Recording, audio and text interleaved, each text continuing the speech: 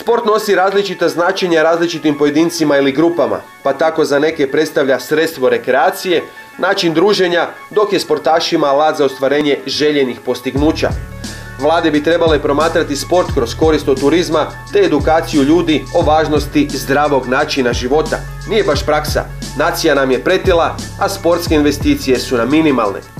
Sport može biti jedan od velikih izvoznih brendova Hrvatske, ali da bi se to desilo mi moramo pojačati ove svoje unutarnje kapacitete i pojačati se na svakom planu, infrastrukturnom, e, tehnološkom, ulagati više u znanost, u ljude, u kvalitetne kadrove, u ponudu koju ćemo ponuditi u zemlju. Zbog mnogobrojnosti različitih značenja sport je globalni društveni fenomen koji kombinira ekonomski i sociokulturni aspekt. Uglavnom, sport može služiti kao sredstvo za lokalni, regionalni razvoj ili regeneraciju gradova.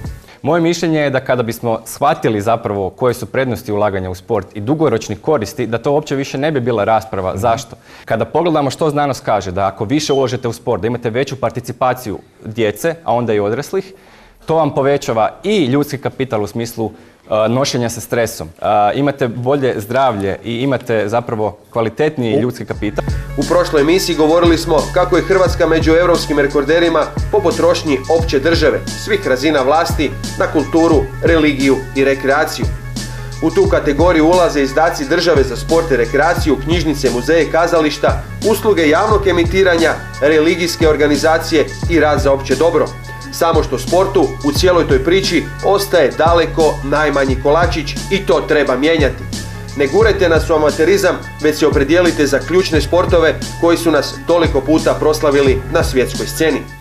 E, da je dobra procjena bila i da smo dobro detektirali problem, jer smo imali 240 prijava iz različitih općina, gradova i županija koji vape za obnavljanje mhm. sportske građevine. Jedno su ukupne financije, drugo je ova preraspodjela do koga te financije dolaze i treća stvar koju se mi bavimo u Hrvatskoj asocijaciji za sportski menadžment, to je upravljanje. Tko upravlja sa tim financijama? Sport je profitabilan, posebice kad se sportski programi povežu s određenim komplementarnim djelatnostima kao što su turizam, ugostiteljstvo, proizvodnja zdrave hrane, razne uslužne djelatnosti i sl.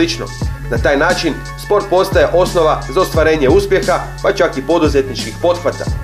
Kad ti se pružaju veće mogućnosti, paralelno postaješ atraktivniji za ulaganje.